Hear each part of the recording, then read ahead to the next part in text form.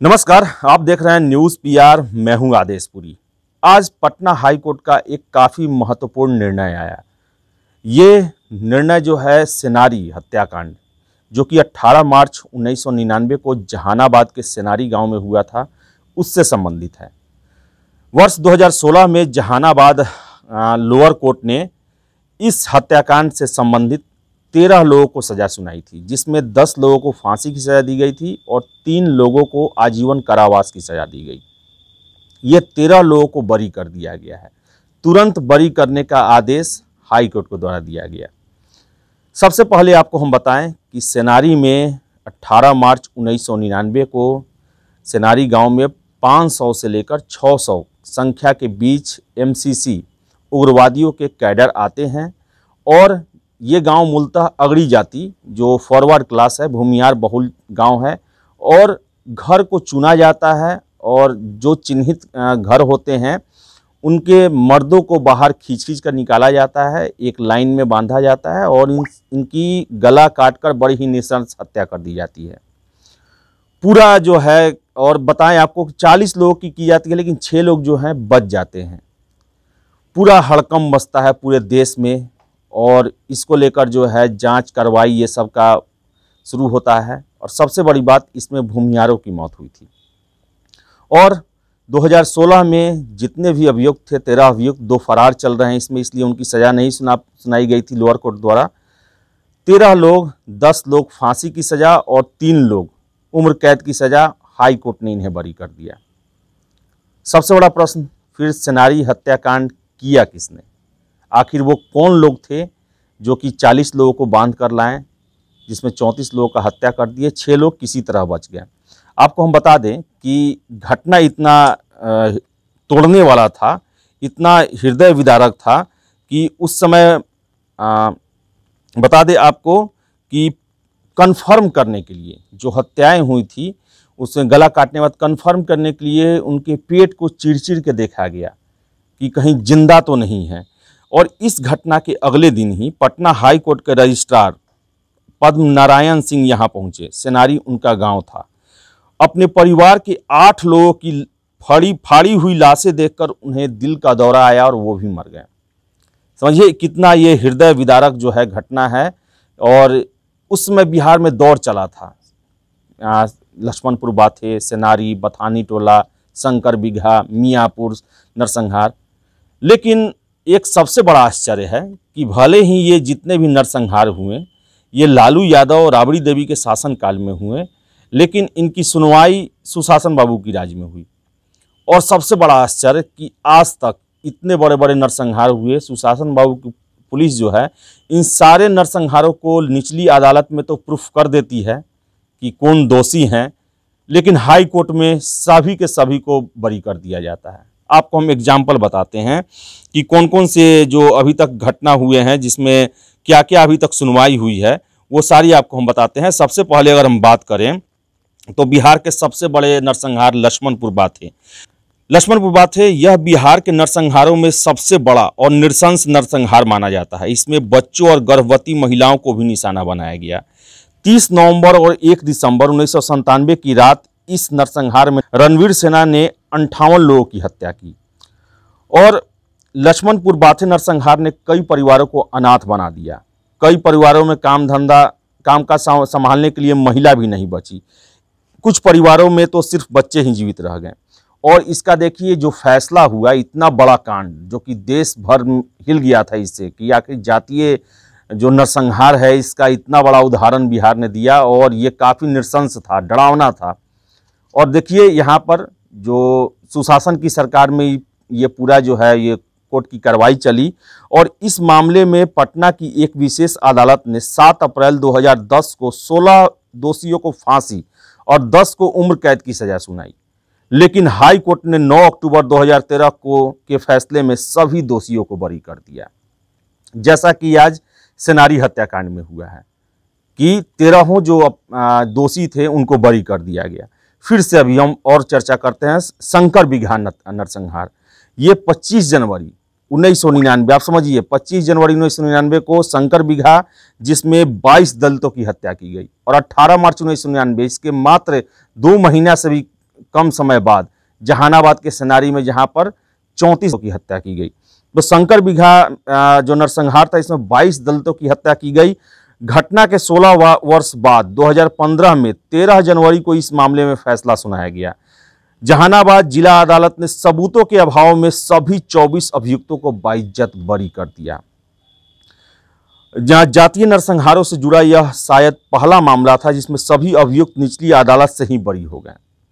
मामले के सरकारी वकील अरविंद कुमार दास के मुताबिक घटना के सूचक के साथ सभी गवाह अदालत में पुलिस को दिए अपने बयानों से मुकर गए।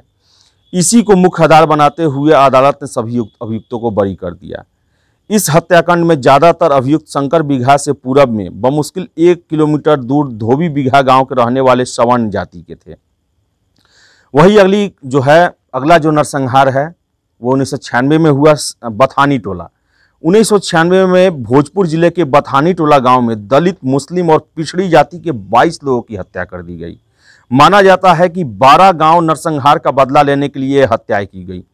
गया ज़िले के 12 गाँव में माओवादियों ने 12 फरवरी उन्नीस सौ बानवे को अगड़ी जाति के 35 लोगों की गला रेत कर हत्या कर दी थी। साल 2012 में उच्च न्यायालय ने इस मामले में 23 अभियुक्तों को भी बरी कर दिया था। इस मामले में निचली अदालत के तीन अभियुक्तों को फांसी और 20 अभियुक्तों को आजीवन कारावास की सजा दी गई थी। यानी कि जो 23 अभियुक्त थे, जिन्हें लोअर कोर्ट ने बहुत कड़ी सजा दी थी लेकिन हाई कोर्ट में ये बरी कर दिए जाते हैं। इसी तरह मियाँपुर संहार नरसंहार औरंगाबाद के मियाँपुर में 16 जून 2000 को 35 दल, दलित लोगों की हत्या कर दी गई। इस मामले में जुलाई 2013 में सर्वोच्च न्यायालय ने साक्ष्य के अभाव में 10 अभियुक्तों में से 9 को बरी कर दिया। तो आप समझ सकते हैं कि बिहार में इतने बड़े बड़े नरसंहार हुए और इन्हीं नरसंहारों के कारण जो है वाजपेयी गवर्नमेंट, लालू यादव के सरकार को जंगल राज का नाम दिया और राष्ट्रपति शासन की भी अनुशंसा की गई थी। लेकिन बावजूद इसके, आज तक एक भी मामले में ये प्रूफ नहीं हो पाया कि दोषी कौन था।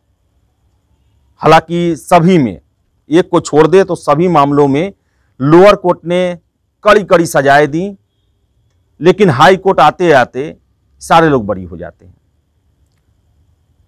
और जितने भी ये मामले हैं, इन सभी की सुनवाई 2005 से लेकर 2015 के बीच में हुई, जिसमें मैं नीतीश कुमार सुशासन की सरकार है और ऐसे में पुलिस एक भी प्रूफ को कंटिन्यू नहीं कर पाती है हाई कोर्ट तक कि जो भी इस नरसंहार में शामिल थे, जातीय नरसंहार में, उनको सजा मिल पाए। आखिर सबसे बड़ा प्रश्न ये है कि बिहार में इतने नरसंहार हुए, चाहे वो बारह नरसंहार हुआ बतानी टोला हुआ, शंकर बिगा हुआ, मियाँपुर हुआ सेनारी हुआ, लक्ष्मणपुर बाथे हुआ, सभी में जितने भी अभियुक्त थे वो बरी हो गए तो आखिर ये हत्याएँ की तो किसने?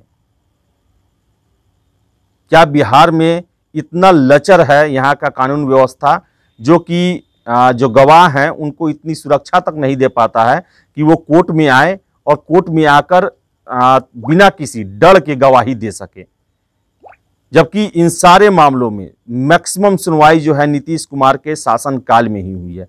और गवाहों में इतना डर था कि गवाह को किसी तरह पुलिस ने कॉन्फिडेंस में लेकर निचली अदालत तक तो अभियुक्तों को सजा दिला दिया, लेकिन हाई कोर्ट में वो प्रूफ जो है वो नहीं रख पाए। लेकिन और आपको बता दें हम कि हाई कोर्ट में ये प्रूफ नहीं हो पाने का सबसे बड़ा कारण ये होता है कि ये जो है, चूँकि ये ऐसे नरसंहार हैं जो कि दलित और सवर्णों से जुड़े हुए हैं। और बिहार में जो जातीय वोट बैंक है, उसे भी प्रभावित करते हैं। एक बहुत बड़े इलाके को प्रभावित करते हैं, जिसको लेकर सरकार जो है, वो फैसला नहीं कर पाती कि हम किसके तरफ़ जाएँ, किनको सजा दिलवाएँ, किनको सजा नहीं दिलवाएँ। नीतीश कुमार हमेशा कहते हैं कि हम जब सरकार में आए तो भागलपुर दंगा हुआ था, उसके अभियुक्तों को हमने सजा दिलाया। लेकिन नीतीश कुमार कभी नहीं बोले कि उनके आने से पहले भी बिहार में बहुत सारे जातीय नरसंहार हुए, जातीय दंगा हुए, ये दंगा ही कहा जाएगा। और इसमें जो है, एक भी लोगों को सजा नहीं मिल पाया अंततः। तो काफ़ी दुर्भाग्य वाली बात है, और जो भी पीड़ित थे, चाहे वो सवर्ण हो, चाहे दलित हो, उनको न्याय नहीं मिल पाया। क्योंकि कभी भी हाई कोर्ट से किसी भी जो अभियुक्त है, उसकी सजा को बरकरार नहीं रखा गया। हाई कोर्ट ने सभी को बरी करने का ही काम किया और कोर्ट जो है सबूतों के आधार पर ही अपना फैसला सुनाता है और सबूत जो है बिहार पुलिस कोर्ट के सामने, हाई कोर्ट के सामने रखने में हमेशा असफल रही है। तो ये एक बहुत बड़ा प्रश्न है कि आखिर बिहार जो 1990 से लेकर 2000 के बीच में पूरे देश में बदनाम रहा कि यहाँ जंगल राज है, यहाँ जातीय हिंसा है, नरसंहार होते हैं, लेकिन उसका आज तक जो उसके अभियुक्त थे, जो उसके गुनहगार थे, उनको सज़ा नहीं मिल पाया। और यही हुआ जो फहरिस्त बना हुआ है सभी नरसंहारों के अभियुक्तों के साथ, वही सिनारी के साथ भी हुआ। सिनारी में भी निचली अदालत ने तेरह लोगों को, जिसमें से दस लोगों को फांसी और तीन लोगों को आजीवन कारावास की सजा दिया था, उसे अपने परंपरा पर चलते हुए हाई कोर्ट ने बरी किया और तेरह लोगों को तुरंत रिहा करने का आदेश दिया है, क्योंकि हाई कोर्ट में जो सरकारी पक्ष है, उनके द्वारा कोई सबूत ही नहीं रखा गया जो कि ये साबित कर सके कि यही वो लोग थे जिन्होंने 18 मार्च उन्नीस सौ निन्यानवे को सेनारी में चौंतीस की हत्या की थी। तो फ़िलहाल इतना ही। वीडियो पसंद आए लाइक, शेयर करें। हमारे चैनल न्यूज़ पेयर को सब्सक्राइब ज़रूर कर लें। धन्यवाद।